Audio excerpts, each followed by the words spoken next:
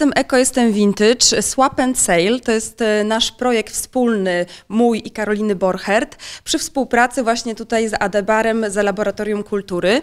E, I na to wydarzenie chciałabym Was wszystkich serdecznie zaprosić.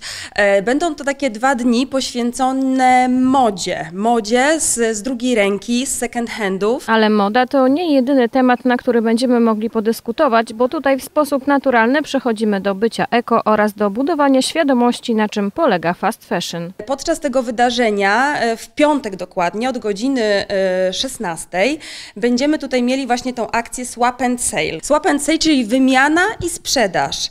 E, Zmobilizowałyśmy tutaj jakby kobiety do tego, żeby przy tej okazji wiosennych, wiosen, wiosny ogólnie zrobić wiosenne porządki w swoich szafach e, i wybrać takie rzeczy, których już nie nosimy, które może gdzieś tam zalegają nam w tych szafach i po prostu można te rzeczy przynieść, i można się nimi wymieniać bądź też odsprzedawać. Wydarzenie będzie kontynuowane w sobotę, ale w tym dniu oprócz Swap and Sale odbędzie się pokaz mody stylizacji vintage z drugiej ręki. Pokazujemy, że w second handzie też można się ubrać e, fajnie, zawadiacko, że modą można się bawić.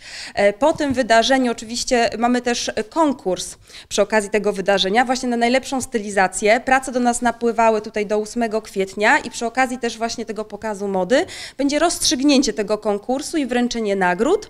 E, a po całym wydarzeniu o godzinie 21 zapraszam wszystkich kołobrzeżan na imprezę, na afterparty e, z DJ-em Lucas Watt.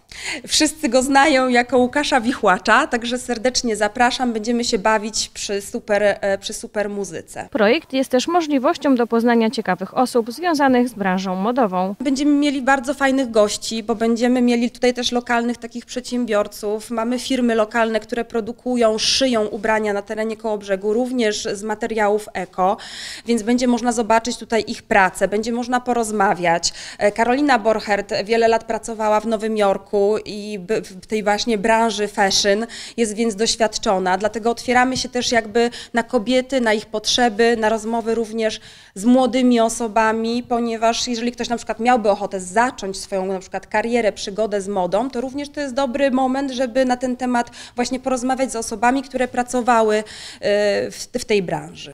Szczegółowy program. Szczegółowy program wydarzenia znajdziemy na Facebooku.